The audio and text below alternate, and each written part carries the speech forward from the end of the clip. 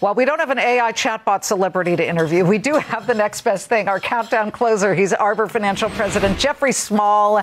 And you are pro Meta. You feel that Meta has been at the forefront of many of these developments ahead of the big event tomorrow. Why do you think that Meta, which has seen many, many record highs recently, why do you think it's still the place to go when it has had such a run up?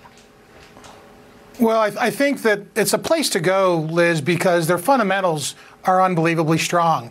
Uh, as a matter of fact, they're the cheapest Mag 7 company in the market today with the best fundamental picture going forward. Um, the number two stock the last two years compared to NVIDIA. And so Meta has done a phenomenal job of importing their AI technology into their business model across every platform. And they will have this, the first platform to really start to see the monetization of their investments in that technology going forward. And the street knows that. And that's why they're launching what you're just talking about. You know, lookalike celebrities on Chat GPT. Yeah, uh, you're right. I just looked at all the Mag 7 PEs. Meta is definitely uh, down at the bottom in the 20s. Uh, Tesla's the highest at 71. Uh, overall, give me a sense of where you think the big tech stocks are going because they've been such a driver here.